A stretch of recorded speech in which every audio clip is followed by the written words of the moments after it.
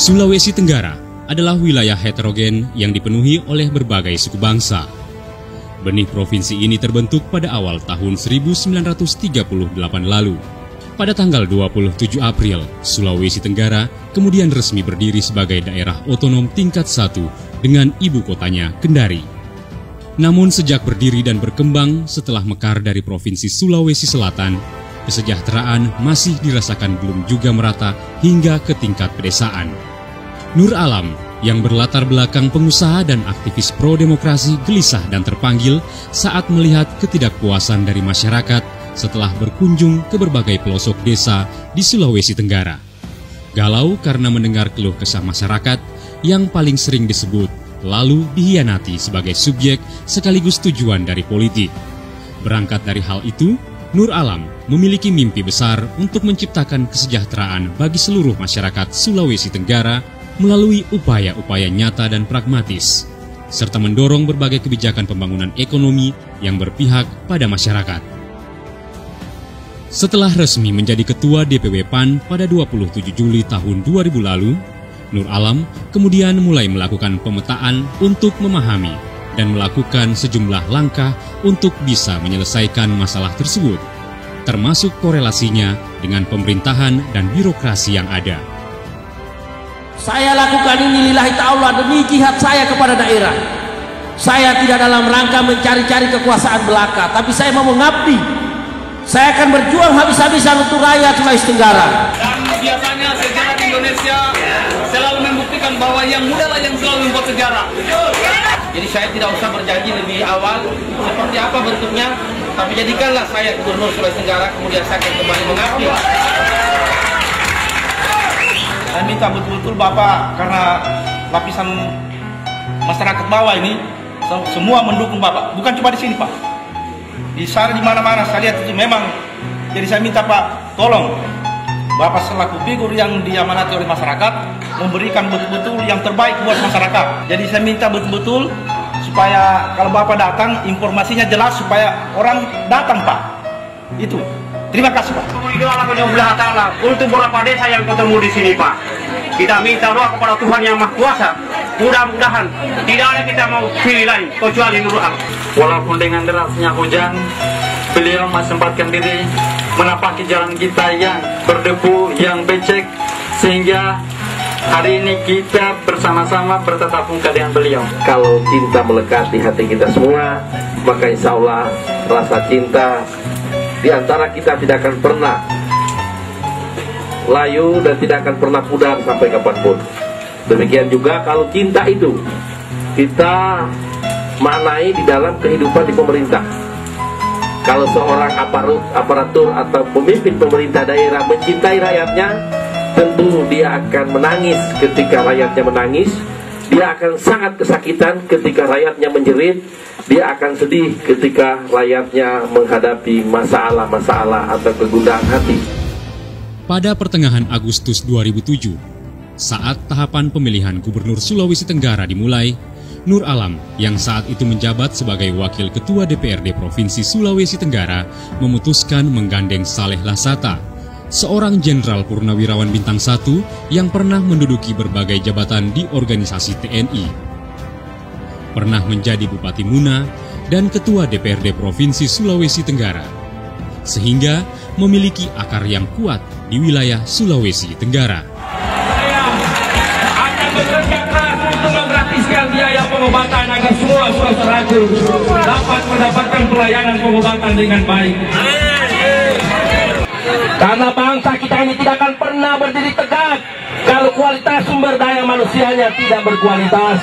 Karena itu kita harus memberikan sekolah gratis kepada semua siswi-siswa kita. Mudah-mudahan kehadiran saya pada sore hari ini akan makin meyakinkan saudara-saudaraku terhadap komitmen saya sebagai calon pemimpin dan insya Allah akan menjadi gubernur Sulawesi Tenggara.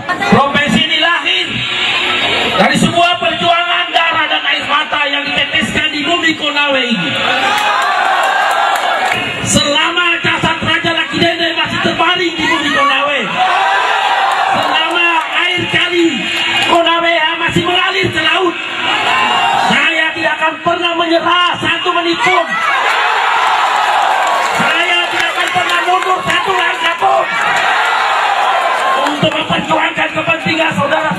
Kita tidak perlu bersedih, kita tidak perlu bergundah hati.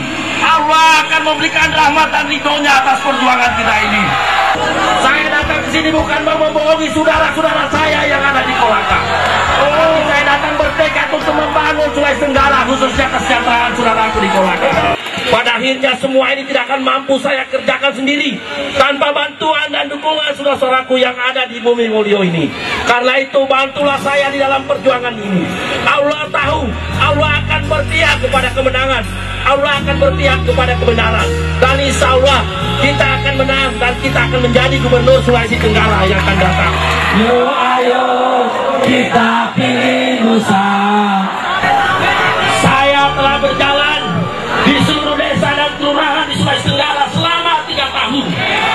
Melihat secara langsung kondisi daerah kita di desa-desa. Ternyata saudara-saudaraku, pembangunan dan alokasi dana tidak menyentuh desa-desa di Sulawesi Tenggara secara umum.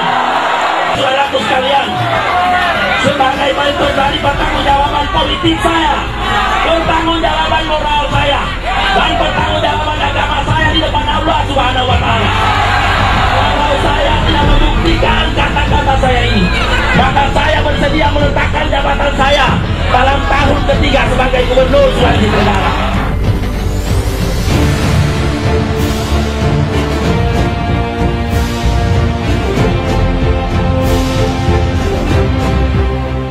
Pilihan Nur Alam untuk berjuang bersama Saleh Lasata membuahkan hasil yang manis, yaitu memenangkan pilkada langsung yang untuk pertama kalinya dilaksanakan di Indonesia dengan perolehan suara 42,78 persen.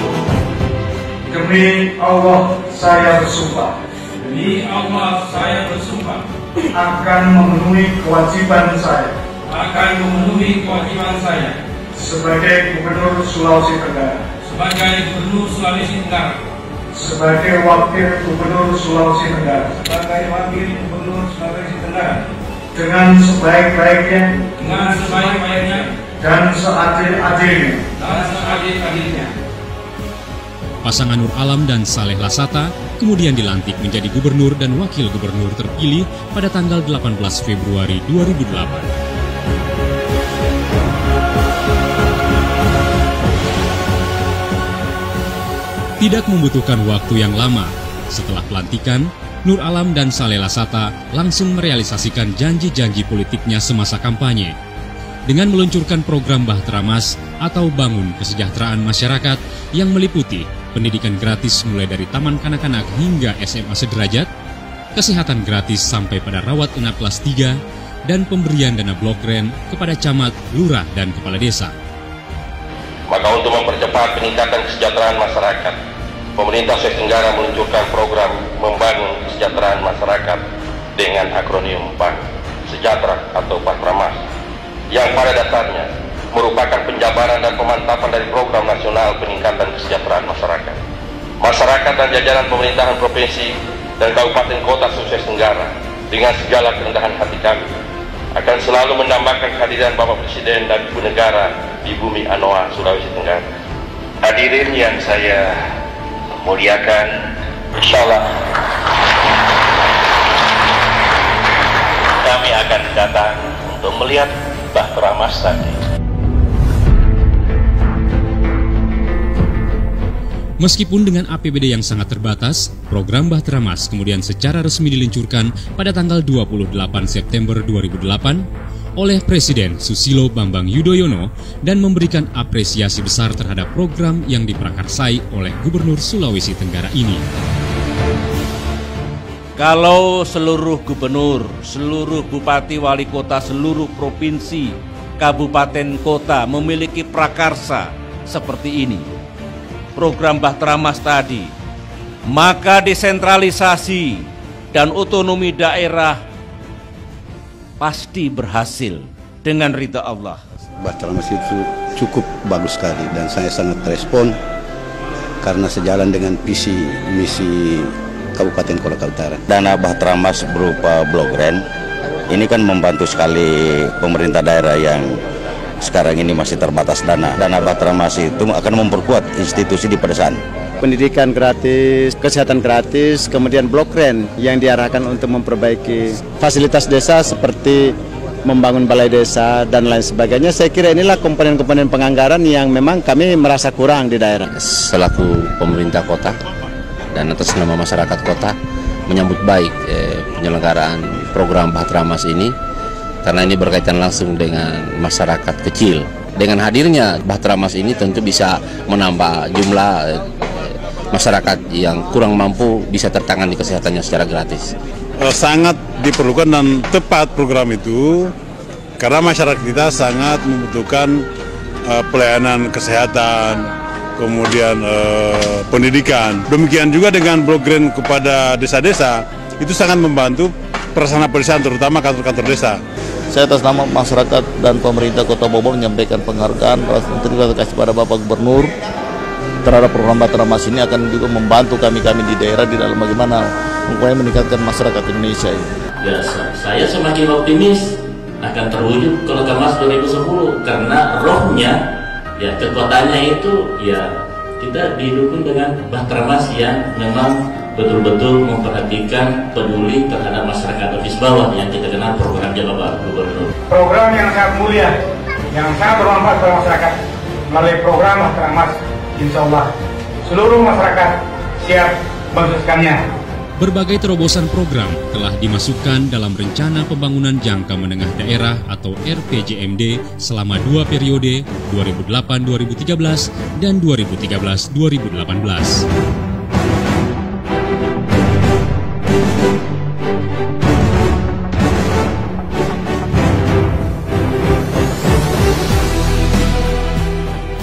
Allah saya bersumpah akan memenuhi kewajiban saya akan memenuhi kewajiban saya sebagai Gubernur Sulawesi Tenggara, sebagai Gubernur Sulawesi Tenggara, sebagai Wakil Gubernur Sulawesi Tenggara, sebagai Wakil Gubernur Sulawesi Tenggara. Periode kedua, Nusa mencetuskan visi ingin mewujudkan Sultra sebagai daerah yang sejahtera, mandiri, dan berdaya saing agar dua juta setengah penduduk Sulawesi Tenggara bisa sejahtera dan merasakan pemerataan pembangunan di segala aspek kehidupan. Agenda utama pembangunan yang terdiri dari peningkatan kualitas sumber daya manusia, revitalisasi pemerintahan daerah, pembangunan ekonomi, pemantapan pembangunan kebudayaan, dan percepatan pembangunan infrastruktur terhadap realisasi dengan hasil yang memuaskan. Selama 10 tahun memperjuangkan kesejahteraan masyarakat dan daerah Sulawesi Tenggara tergambar dari angka-angka makroekonomi, yaitu peningkatan APBD Sulawesi Tenggara pada tahun 2008 dari 759 miliar rupiah naik menjadi 3,56 triliun rupiah pada tahun 2018. Penduduk miskin turun dari 21,33 persen pada tahun 2008 menjadi 12,72 persen pada tahun 2017. Pengangguran pada tahun 2008 sebesar 14 persen, turun menjadi 3,3 persen pada tahun 2017 dan diproyeksikan turun menjadi 2,88 persen pada tahun 2018. Rasio investasi terhadap PDRB pada tahun 2008 sebesar 24,15 persen, naik menjadi 43,2 persen pada tahun 2017 dan diproyeksi menjadi 47,3 persen pada tahun 2018. Semakin baiknya kondisi perekonomian Sultra juga bersinergi dengan laporan keuangan pemerintah yang sebelumnya disclaimer pada tahun 2008, kemudian berturut-turut meraih opini wajar tanpa pengecualian dari Badan Pemeriksa Keuangan sejak tahun 2013 hingga tahun 2017.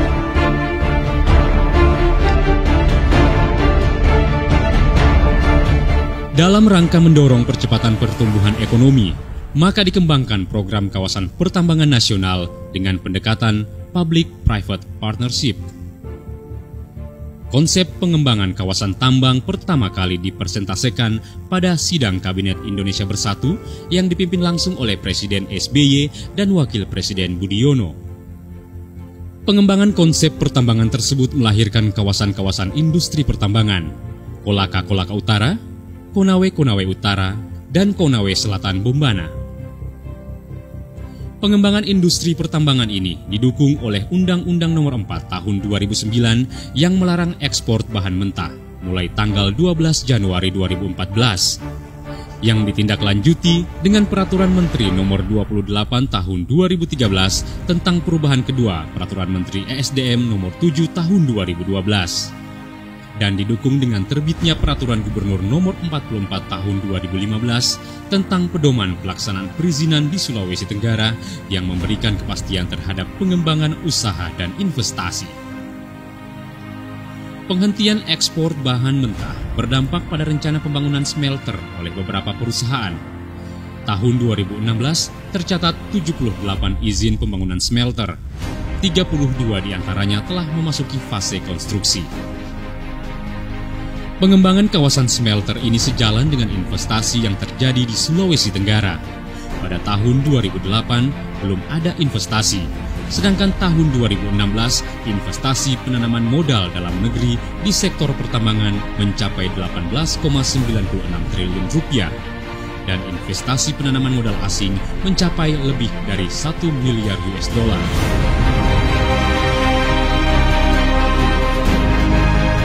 Peningkatan kualitas sumber daya manusia ditunjukkan dengan meningkatnya angka partisipasi kasar, terutama pendidikan SMA sederajat, dari 56,22 persen pada tahun 2008 menjadi 92,96 persen pada tahun 2017.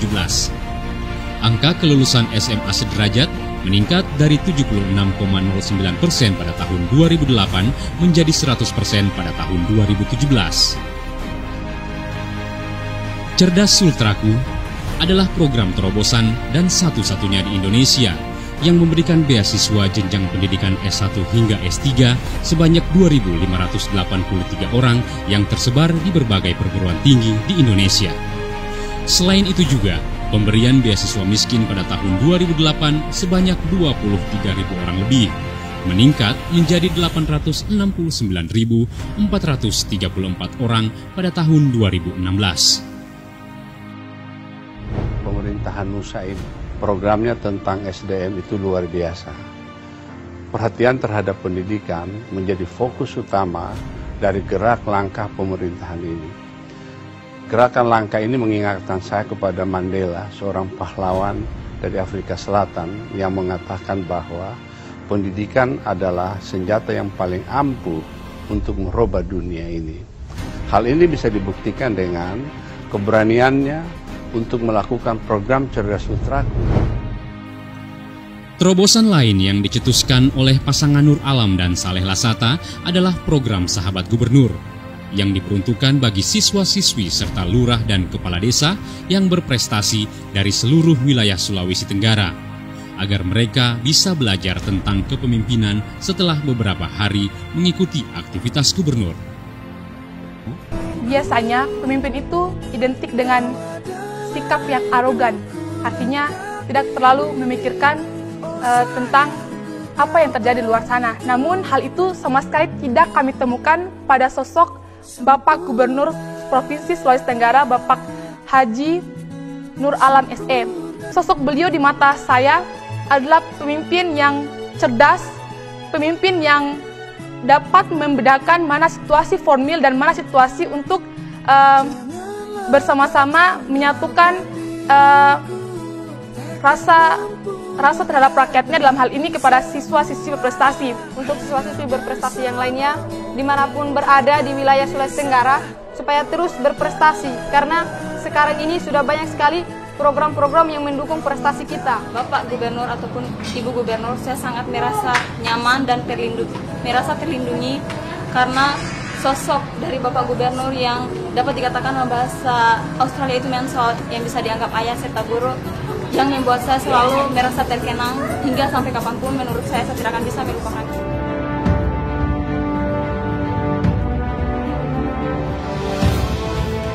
Selain bidang pendidikan, program lain yang dinikmati secara langsung oleh masyarakat adalah pemberian dana blok grant sebesar 100 juta rupiah untuk lurah kepala desa dan 50 juta rupiah untuk kecamatan dengan alokasi pembangunan infrastruktur sebesar 50 persen, bantuan ekonomi sebesar 30 persen, administrasi 15 persen, dan penyertaan modal pada Bank Perkreditan Rakyat atau BPR Bahtera Mas sebesar 5 persen. Penggunaan dana blok grant dalam membangun infrastruktur pedesaan telah meraih rekor muri karena berhasil membangun ribuan kantor dan balai desa di seluruh wilayah Sulawesi Tenggara. Hingga 2016 lalu, tercatat 2.426 desa, kelurahan, dan kecamatan menerima manfaat dana blok grant dengan total anggaran mencapai lebih dari 1 triliun rupiah.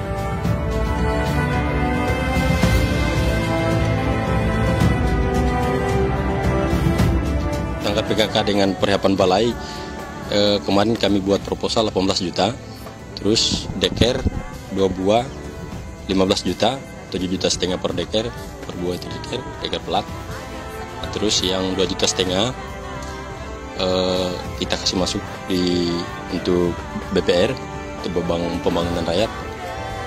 Terus yang 4 jutanya biaya operasional besar jalan ini 2 meter setengah panjang jalan 180 meter. Sesuai dengan musrembang yang dilakukan di Balai Desa Mosolo dan itu disetujui oleh masyarakat. Dengan alasan selama ini masyarakat dikala mereka menggondolo mendorong gerobak sering terjadi kemacetan. Artinya tumpangan isi gerobak itu tertumpah. Karena dulu ini batu-batu besar seperti ini nah, sehingga kami punya keinginan untuk memberikan yang terbaik buat masyarakat. Dan itu disetujui oleh masyarakat di desa Musolo.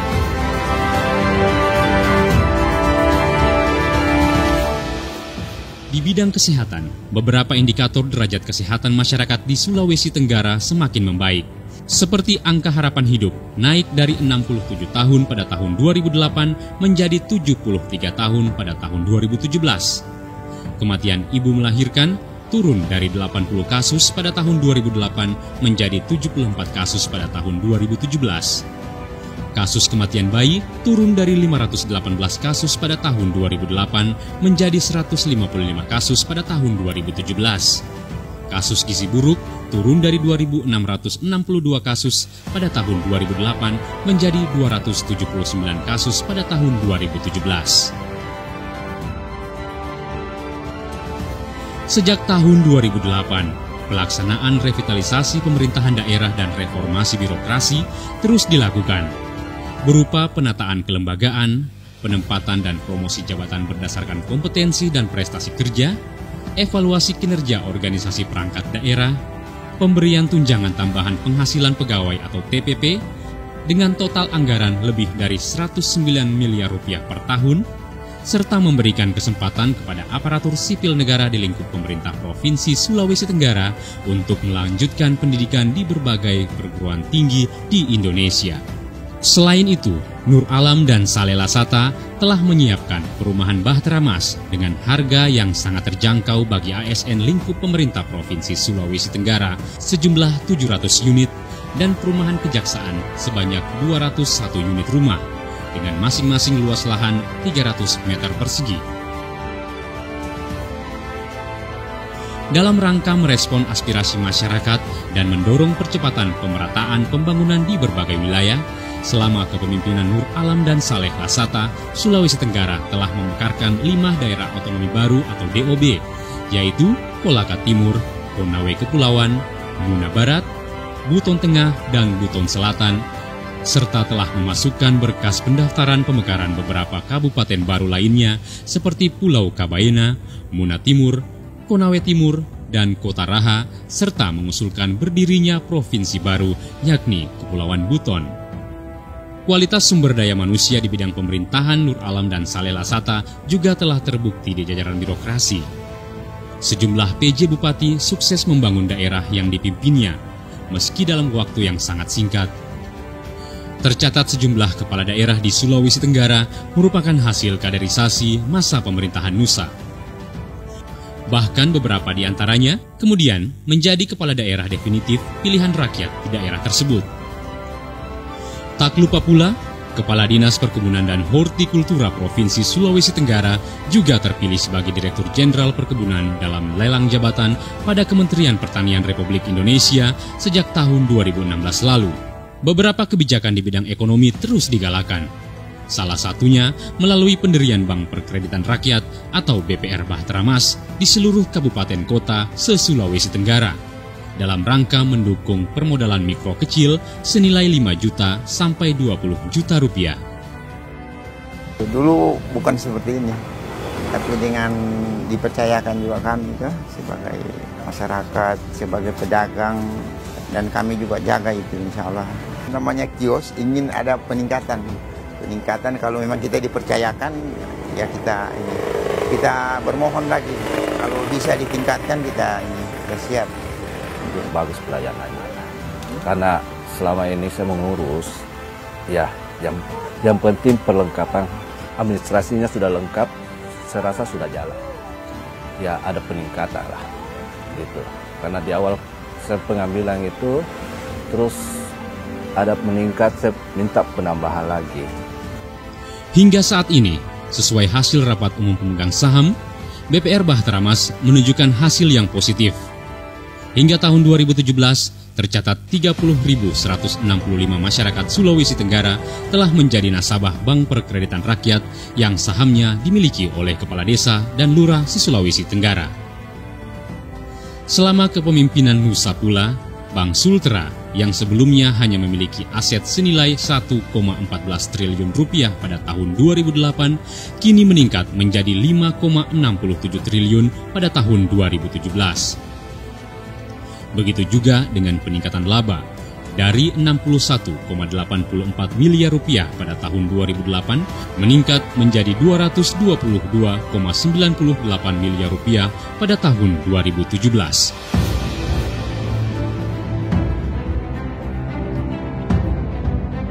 Pengembangan kebudayaan dilakukan pemerintah provinsi melalui Dewan Kerajinan Nasional atau Dekranasda Sultra dengan wujud pengembangan kerajinan daerah seperti tenunan motif khas daerah, kerajinan perak dan emas, pengembangan seni tari dan musik, kemilau Sulawesi, serta mengikuti berbagai gelar event budaya dan peragaan busana tenun di tingkat nasional hingga internasional. Bersama Dekranasda, Sulawesi Tenggara tercatat beberapa kali meraih penghargaan tenunan tradisional daerah, desain kerajinan emas, dan lainnya.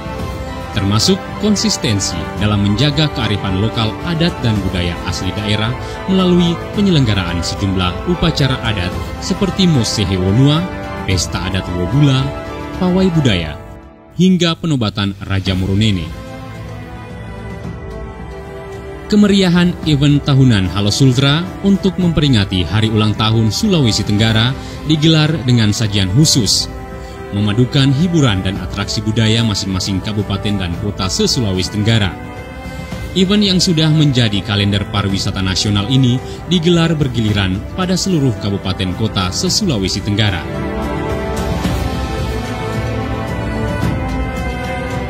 Perkembangan sektor pariwisata ditunjukkan dengan meningkatnya destinasi wisata utama di wilayah Sulawesi Tenggara. Di antaranya wisata bahari di Pulau Bokuri, Kabupaten Konawe, yang juga pernah dijadikan sebagai lokasi upacara peringatan Hari Ulang Tahun Republik Indonesia ke-71. Wisata bahari Pulau Labengki di Kabupaten Konawe Utara, wisata air terjun Moramu di Kabupaten Konawe Selatan, serta keindahan alam bawah laut Wakatobi yang sudah menjadi satu dari 10 top destinasi wisata nasional dan sejumlah destinasi wisata lainnya yang tersebar di seluruh wilayah Sulawesi Tenggara.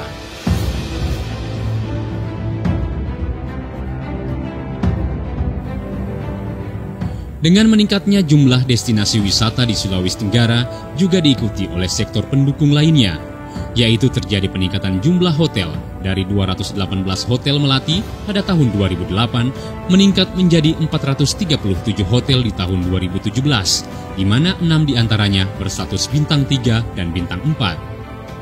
Perkembangan sektor pariwisata terutama hotel dan restoran merupakan salah satu multiplier efek dari perkembangan berbagai sektor.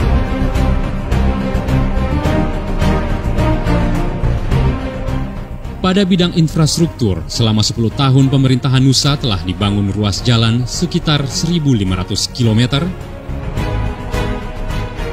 jembatan sepanjang 3.672 meter, pembangunan infrastruktur pemerintahan pada kompleks perkantoran bumi Praja Donohu, revitalisasi kawasan Tugu Religi, pembangunan jembatan Lowu-Lowu yang menghubungkan daratan Buton dan Pulau Makassar, pembangunan jembatan hulu Sungai Konaweha yang menghubungkan Kabupaten Konawe dan Kabupaten Kolaka Timur. Jadi sebelum ada jembatan saya baru ada di, di Kerantis. Untuk selama kami, kami berada di Kerantis ini yang melintas dulu ibu hanya Johnson. Nah, Johnson itu biasa kita bermalam, tiga malam di jalanan karena rusak kalau bisa kita langsung ke Jadi saya ini menjual anu ikan sudah lebih 10 tahun, 20 ya, 20-an tahun begitu. Jadi kalau dulu itu masih jalanan tidak bagus, itu ikan kalau diantar dari desa kami ini, pokoknya jam 2 subuh, tiba di pasar itu jam 6. Ternyata itu ikan yang kita bawa itu sudah hancur. Tak kupas. Kalau seperti bojo, ikan-ikan lain rusak apalagi kan yang di es jadi dulu itu sebelum ada jalanan miskin orang. Banyak ikan tapi saya balik saya karena saya dulu itu bawa mobil dari jam 2 itu kita sudah start muat penumpang. Nanti sampai di kota itu jam-jam 8 kalau turun hujan bermalam orang di sini di rumah. Lama sekali bagaimana jalanan? Lubang sekali ke bawah. Kalau dia menagih di gunung bagai di gunung-gunung yang di mana saja gunung dia sudah gasnya sudah tinggi masih dia masih kan lempar-lempar batu yang bawa barang bawa dagangannya juga sudah hancur. Yang tidak kalau seperti ikan itu sudah lembes semua mi. Dan selama ini jembatan di dibikin coba bukan Nur Alam jadi gubernur tidak jadi jembatan karena menghubungkan kedua kabupaten ini Kolaka Timur dengan Konawe kita sudah bersyukur. Malahan sehari-harinya itu kendaraan itu lalu lintas. Siang malam mobil motor. Nah, nanti setelah pengaspalan ini sudah bagus aspal sekarang. Jadi kalau kita bawa ikan itu tadinya yang harganya 60.000 satu gabus sekarang sudah sampai 200.000 per gabus. Karena orang kan sudah dari kota datang beli. Mau ikan segar sudah masuk ke sini kalau dulu kita bawakan orang ikan segar sampai di sana sudah jadi bubur. Terima kasih semua kepada Nur Alam eh, yang telah eh, memperbaiki jalan dan kami bingung siapa lagi menjadi pemimpin di sini. Akan terima kasih sebesar-besarnya. Pokoknya semuanya masyarakat Kecamatan Lalang Kasume itu Seropia. Dia inginkan itu dia jadi gubernur lagi, kalau bisa. Karena saya, sekarang sudah banyak orang bertanya-tanya bahwa siapa mau ganti itu gubernur. Karena sudah tidak akan dapat gubernur seperti ini.